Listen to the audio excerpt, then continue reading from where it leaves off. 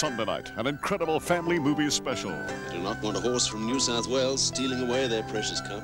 It could still be done, sir. The dream was to win the first Melbourne Cup. If anything should happen to him, do not come back this way. The task was to cross an untracked continent, Well, I give up. Which way do you reckon? 600 miles of Australia's treacherous outback. I'm outback. taking him down to win the Melbourne Cup. The adventure was to turn the boy into a man. Don't try, Dave. Get down now, lad.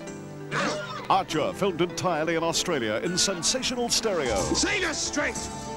We'll never catch that horse. For the first outstanding time on television. Bookmakers are quoting a hundred to one.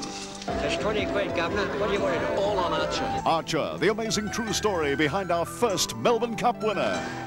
You treat that horse like he's your master. Well, he is, in his way.